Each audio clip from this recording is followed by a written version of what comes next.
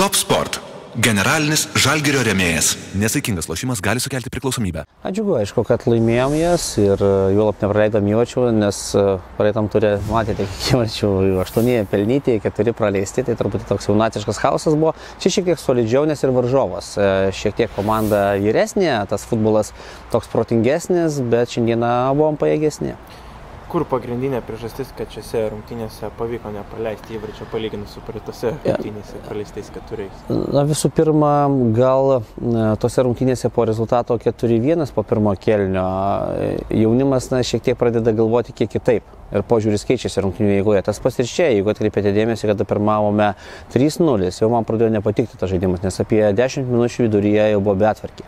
Tai va tas jau atsipalaidavimas, tas toks, na, neužtikrintumas, net, tai turėtų būti dar lengviau, tarsi, ne, vyrų komanda išnaudotų tą ir tiesiog nuplauktų dar su didesniu galbūt įvarčių skaičiumi.